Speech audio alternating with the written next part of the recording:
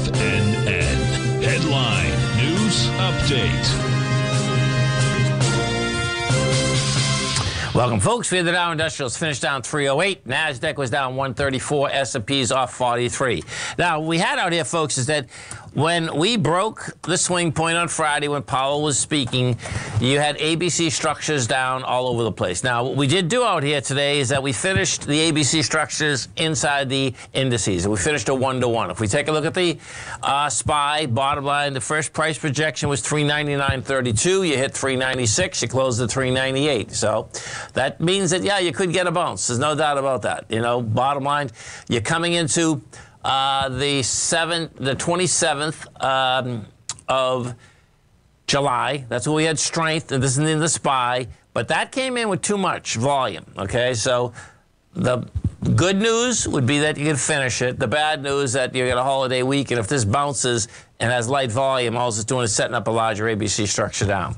We take a look at the NDX 100. It's the same type of setup inside the Qs. The Qs, the ABC structure on the way down, had a price projection of 300. We hit 298 today.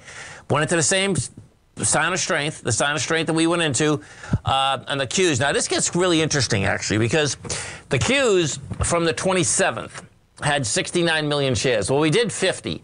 The low there was 298.46, and we did 298.44. So the way that is set up, the bottom line is that when I started the program, I was looking at, you know, this wants to do a one, well, more than a one uh, to a one to 1.382. The way this market closed, I suspect what you're probably going to have here is you're probably going to bounce, which is really going to be wild because if you bounce, you can look for a bounce to basically ice. And if that's what we get, the next couple days, that's that's big trouble. That's that's the bottom line. That's big trouble if you are bullish. That's the bottom line because you're not going to have any volume. You're going to bounce on lighter volume, and all this is doing is setting up a larger ABC structure down.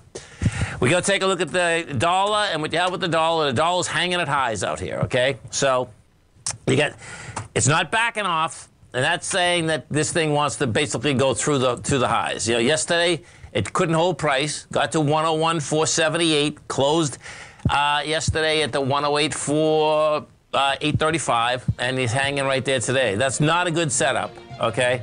Um, it's a great setup for the dollar to go higher. And we know what happens. Dollar goes higher, folks, market goes lower. Have a great night. Have a safe night. Come back and visit Tommy tomorrow morning. Kicks us off 9 o'clock in the morning. Great show, folks.